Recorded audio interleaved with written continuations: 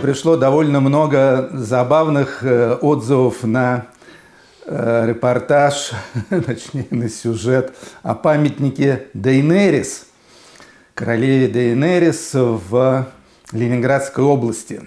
Вот, например, Евгений пишет. Да Путин наша Дейнерис, а Сечин, Ротенберг и Медведев – это ее драконы. Ну или его драконы. А, но на самом деле это натолкнуло меня вот на какую мысль, а именно провести еще один опрос телезрителей, на этот раз на тему, которая, в общем-то, лежит на поверхности в связи с ДНРС, а также Калашниковым и прочими, которые он же не человек, он же памятник.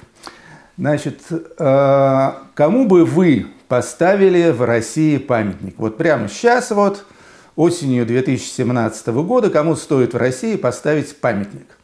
Я прекрасно понимаю, что будет э, половина ответов э, стебнутых, половина ответов серьезных. Вот можете даже так и писать. В качестве шутки э, поставить памятник там, тому-то, тому-то, или той-то, той-то, или какому-нибудь литературному персонажу, там, солдату Чонкину, например. Вот. Ну, а всерьез хочу поставить памятник, не знаю, Владимиру Высоцкому номер два или еще что-нибудь такое. Скажу еще под конец, что ответ памятник Путину – не принимается, поскольку памятник Путину – это вся сегодняшняя Россия.